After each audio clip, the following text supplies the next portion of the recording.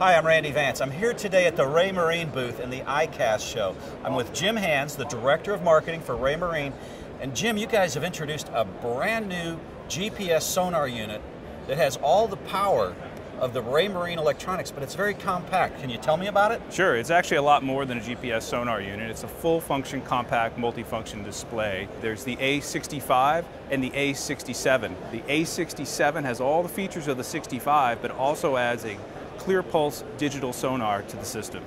This is a demonstration of the new Lighthouse user interface. A-Series is a full touch, full featured, compact multifunction display, very elegant, slick user interface, very tablet-like, easy to learn, nice bold icons of all your different applications.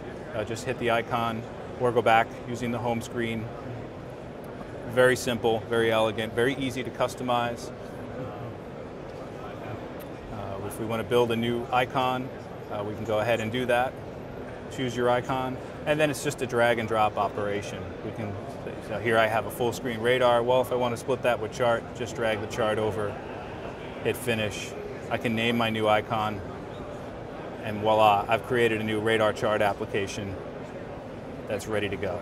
So I got to ask, it'll integrate with all of your stuff. What about my engine? Yes, uh, we do support NMEA 2000 integration with uh, electronic engine instruments, and that enables us to do some really interesting uh, fuel calculations with the new Fuel Manager feature on A-Series. Let's show me how it works. Sure.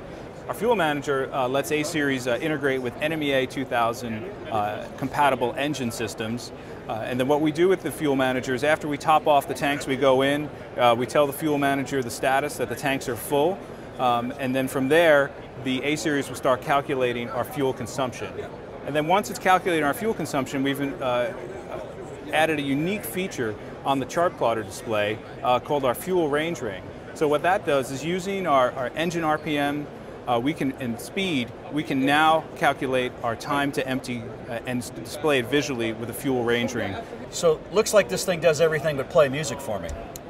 It does that too. The new A-Series is ready to rock. The A-Series will sync up through Bluetooth and become a remote control for all your music. So you can play, pause, skip through tracks uh, right from the A-Series display. It's very elegant and it lets you take your smartphone or your MP3 player and tuck it out of the way, keep it safe. I think this is one of my favorite features here, and I think this is going to make it so bass boat ready.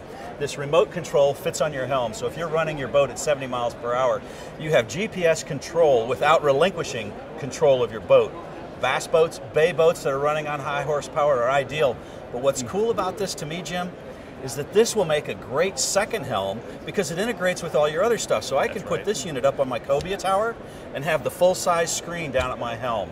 I'm Randy Vance. We're at ICAST 2012.